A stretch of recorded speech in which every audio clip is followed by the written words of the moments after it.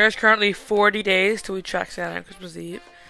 And again, you have two days to um, vote on the North Pole. Go to the North Pole playlist, and you can see. And thanks to anyone who wanted to live stream on Thursday. And there probably won't be any other videos today.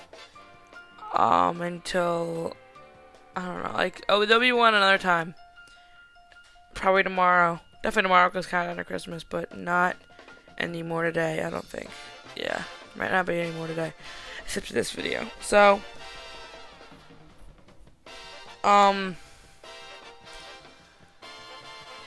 I will be doing another test stream, not today. And probably not, but probably one next week. Maybe on Friday. I don't know. That's it for today's video, and I'll see you guys in the next one. Bye.